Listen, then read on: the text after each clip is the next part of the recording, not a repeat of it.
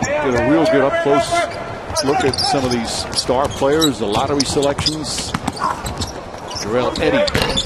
Good looking jump shot there from Eddie. And of course, not only are the Knicks rookies and free agents here, but the new free agent signees that we just showed before. Jarell Eddie puts it in, join us, and one of them is going to join us right now. Out nowhere now. Meandering, turning the ball over. Alley oop. Jarell Eddie a good score at Virginia Tech when he played his college ball. He nails that one. Played the D League last year. Pick up for them with some scoring off the bench. You're being kind again. Uh, this, is, this was not a fit at all. As the Spurs rack up a, another three. At 36, final 22 seconds before halftime. Simmons into the corner. That's Eddie with his own three-point answer. I know San Antonio not going anywhere as they get ready for next season. I think there are some interesting considerations as Eddie squares another one up. His shots look good.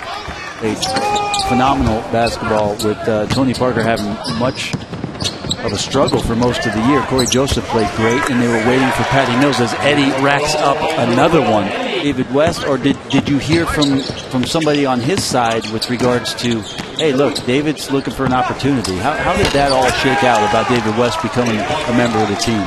And that'll keep you in the game, you know? Simmons, Kyle Anderson, out to Jarell Eddie.